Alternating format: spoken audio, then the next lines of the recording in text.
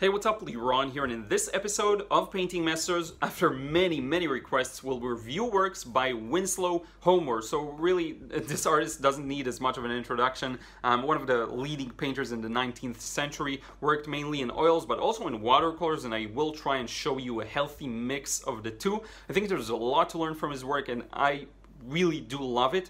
Um, it's really funny because initially, when I saw his work, a while back. I didn't really connect with it, but then after I found the, the, the, niche within his work that I like, I found that I was able to connect to many other paintings. So I'm sure you'll enjoy this one. I'm sure many of you are really well familiar with his work, but it's just to be fun to review it and talk a bit about it. So without further ado, let's get started. So look at some really awesome paintings. Now I do remember the names for most most of them, uh, but if I'm not, I'm gonna check. So this is Long Branch, New Jersey. Now one of the coolest things, in my opinion, in looking at his paintings is thinking about how old they are, and it's pretty much the only representation of reality we have from back then in color. And when the painting is so good and it just looks so real, that's like looking at a photo taken back then, but there weren't any color photo photos back then, which is really just mind blowing to think. So you get get to see reality as it was. Um, now, in terms of what I love most about his work, I think, is the the good balance between uh, details and simplified areas. So for every detailed area, you will see an, another area that's highly simplified. It's very uh, reduced in the details. Like look at the the sea. It's just pretty flat. There is a bit of variation in the water, which is lovely, but it's still quite flat. Look at the ground here. All of these small uh, details, they're still very um, very light touch. But then when you look at the figures, you get some uh, some uh, like significantly more details. look at the dog here; that's really cool. Um, you see everything. You see their clothes. You see the how the light shines on them. It's just beautiful. And you have a bunch of figures here. A lot of people feels really like a Sunday morning for us. It's Saturday here uh, of just vacation, going to the beach. Really awesome. I really love this one. I have to say, one of my favorites. So I wanted to start with that. I love the crispness of it, especially if you look at these two figures up front. Uh, in the foreground, just this the beautiful crispness of it. And this is actually similar to the beaches we have in Tel Aviv. So I don't know, it's just cool to think about it. Uh, so let's move on to the next one. This one's called On the Stile, I believe. Yes, On the Stile with an I. Um, not sure what that means, stile. I know turnstile. I'm not sure if that's similar. But in any case, the reason I wanted to share this one relatively early in the video is that it is watercolor and gouache. Um, so he often seemed to have mixed watercolor and gouache use, um, and this is one of them. Uh, look at the simplicity of the washes just the sky, the hills, and they're very blue, so a great sense of depth and distance, and then a lot of green and yellow where it's closer to us, the two figures, um, and there's so much simplicity in it. You can pretty much see the pencil or uh, graphite. I'm not sure. Sometimes I believe he didn't use just pencil. Um, you can see the line work, and it just looks so good, and it's clean, it's crisp, it's simple.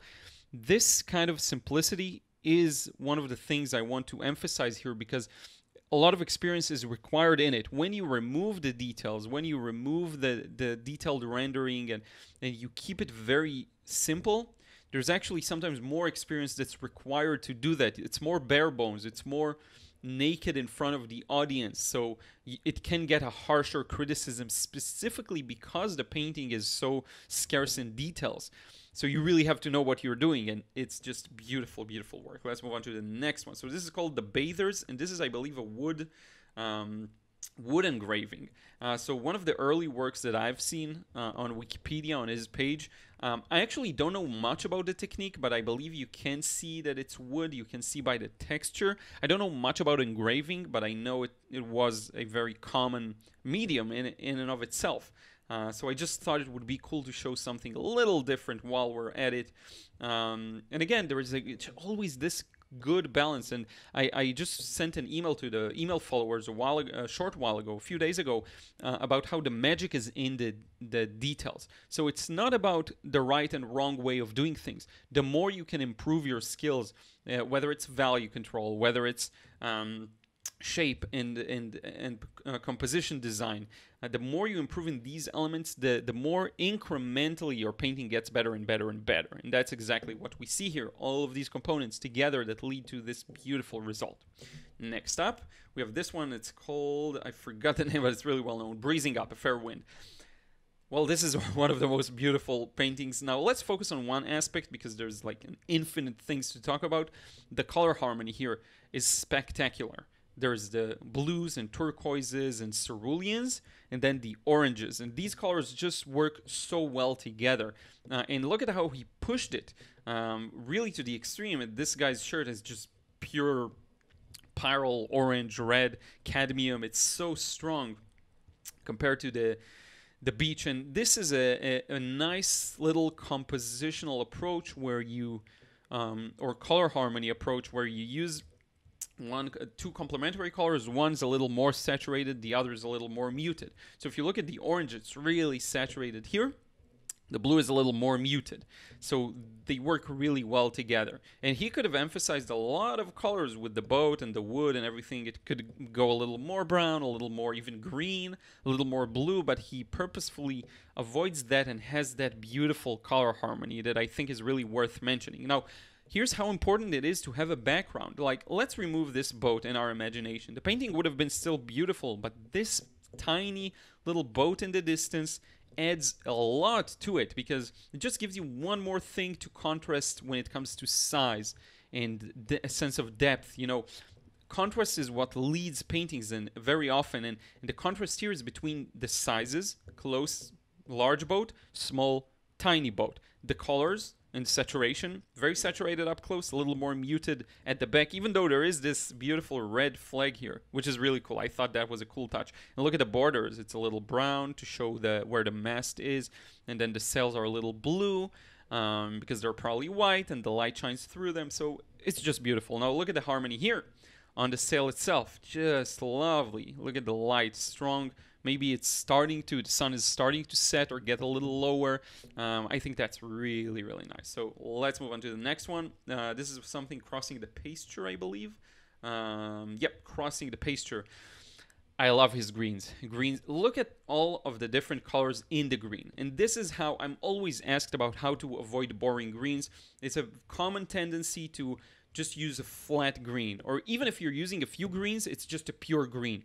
Just this kind of a green that's more yellow, and this kind of a green that's a little more um, viridian. And that's not good enough in my experience. What you want to do is inject into that green some clearer oranges, some clearer reds and yellows, and even blues this is what leads to interest. You've seen it in my uh, one of my recent videos.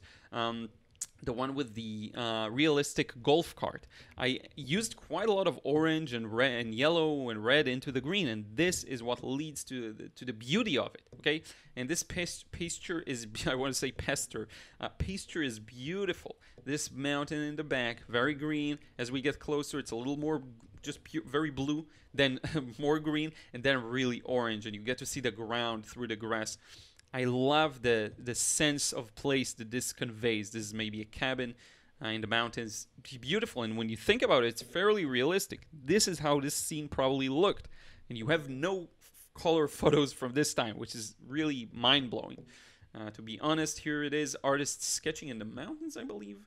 Yep, this is just so nice. What I love about this one is it immediately reminded me of my travels to South America, and we were in this place called Ausangate, which was beautiful in the mountains in the Cusco region in Peru. And it was a similar atmosphere. The ground, and it is sunlit, and there is some sun, but the sky can be a little moody, it can be a little gloomy. And this contrast between the two um, parts of the subject is beautiful. Look, there's a, this tree stump or wooden stump and then a wine bottle on it or something like this. Um, you see the bag of the artists here, and the artists may be painting one another. This is really cool. And if you know about this and who the other artists are, let me know. Let me know if you know more interesting details about these paintings in the comment down below. I always am uh, blown away by what people know. Uh, here is uh, another watercolor in gouache, I believe. Uh, from his more lonely period. This one's called Eastern Point Light. Um, again, highly simplified, but you do get to see the beautiful reflection of the moon in the water. It's this dry brush kind of section that makes me believe this is watercolor. Um, and gouache. From what I read, he used the two together a lot. Uh, just not much to say, but it's a beautiful scene. And again, the simplicity, don't let that fool you. There is a lot of skill that goes into that, and you're standing more naked in front of the crowd with uh, this kind of a painting, and you really need to do things right uh, in order to get it right. You can't hide it by or mask uh, um, your flaws by just adding more details. Um, so yeah, really cool one. Here's another one, watercolor and gouache. This one I don't know the name of the painting. I just love the clever. Sorry about that. That's my phone. I just love the clever composition. I'm actually waiting on a delivery, so I need to be on it. Um, but yeah, just beautiful um, composition and shape design for the trees uh, trunks. You know, uh, look at how these the, the trees are hinted at by the gaps between the dark sections. Very common thing to see, but just beautiful. And even his small touches of like this bird looks like a condor, um, but I don't know what it is honestly. It's just so clever. It is not just a like a triangular shape. It's actually you can see the wings of the bird, but it's still very touch and go. It's not too detailed, not too busy on the eye just really clever in my opinion. Uh, here we have some ducklings and the, the it's it's just such a cute scene. And I think if you look at just this section, the middle, I don't like the color harmony as much. But if you add these uh, blades of uh, grass or whatever thing that grows near the water, look at all these reds and oranges. They really um, fix the harmony, in my opinion, and, and add some more interest to it. The sky is lovely as well. I can really feel like I'm there. Uh, it's just so nice, such a nice painting. Here's another one. Forgot the name. Something Green Hill. The Green Hill. I was close. Now here, look at the flatness of the washes. It goes to show you you don't need much. The basic composition is what drives the painting. So yes, you do have some details. And by the way, this may be an unfinished work. I don't know. The the sky is a little more detailed. Yes, you can see some clouds, some hints. Maybe it's just the fact that it's unfinished. I don't know. But look at this mountain ridge and that mountain ridge and even the foreground and the rocks here and even the figure very few details even this barn or house there very few details. So it's interesting to see how just how much you can tell by simple shapes good composition a lot of interest. You get some lines that move diagonally like this some lines that move diagonally like that. The figure um, interesting some interesting highlights and values just very clever. And again the magic is in the simplicity um, which is what i love about this one. So yeah it's just a skill to develop. This one boys on the dory i believe. Oh nice i remember all the names. Uh, so this is another i believe watercolor and gouache. Look at these nice little ripples in the water. Now here's the thing. What i love about this one is the color harmony. If you look at the colors they're very deliberate. In my opinion, there was a lot of thought that went into this particular color selection. Uh, yes, you can say it's the classic uh, blue and brown, you know, like a burnt sienna, umber, and but it's more than that. He limited the range of colors to these very specific blues that are kind of lilac-y cerulean blues, and the greenish browns. Even it's even more towards the green yellow. Um, and it's very clever. There's a clever um, choice for every little element. Like if you look at all of the boat and the boys in it and the background, it's very smart. But then you get this one, uh, this little fellow sitting at the edge of the boat, and his shirt is more, it's a stronger blue than the rest of the scene, and it really pulls your eyes toward him and makes you think to yourself, is this the focal point that was intended? Or is it like look at this this guy here it's a very light shirt and the boat is dark so it also is a high contrast point which pulls your eyes to it so there are a few very interesting uh, focal points very different very far apart um, and I just think there's a lot of cleverness, and it's not necessarily blue in the background and brown in the foreground. He didn't go for that. Like the the land, the mass of land in the background is actually quite yellow. Um, so it's just an interesting way of composing the scene. And I, and I love the fact that it's a very uh, horizontal composition. The boat is thin and long, elongated. The, the land mass in the background is very long. It's only broken by a few small elements, such as the boat here, the boy here. The, you know, it's it's very clever. It's a very clever composition. Let's look another one. Prisoners from the front, I believe. Um, just again, it's mind blowing to think that this scene may have actually looked like this, um, because of the painting's high level of realism and accuracy.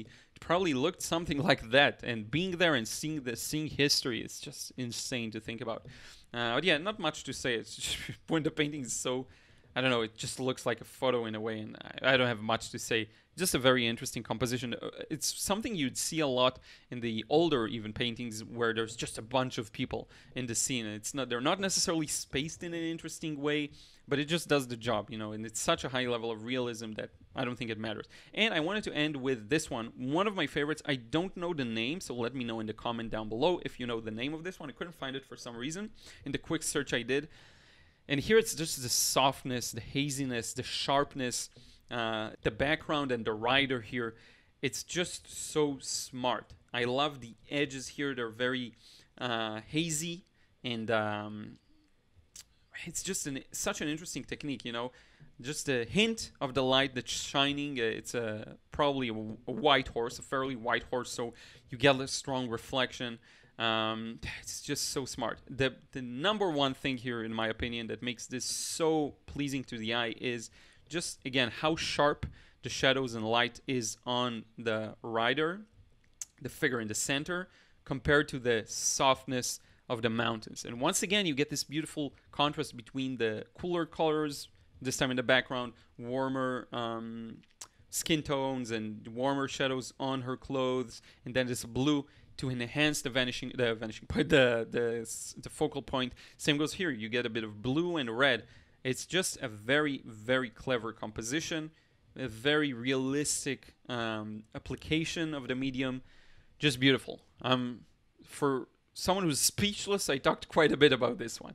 So in any case we're going to wrap it up now. Thank you so much for joining me in this adventure uh, and i'm really looking forward to do another one. Now let's wrap it up face to face. So thank you so much for watching. I really do appreciate it and I'm happy to cater to your requests. So as always, leave a request down below. Let me know which artists you want me to review in the future. I had a really good time with this one, more than I expected. Um, and I, many artists that are, you know, really well-known, well-renowned, classic um, old masters, new masters as well. Um, I am not necessarily that familiar with, so doing these videos really helps me, um, and it's fun to you as well. So let me know if you want the more like old masters, like really traditional ones, um, or new contemporary artists. I'm up for it all. I really do appreciate it, uh, you watching and everything, and leave a like, leave a comment down below. It really helps me reach more people, and subscribe if you still haven't. I have a bunch of other videos that I think you'll enjoy. Thank you so much, and we'll see you again in the next one.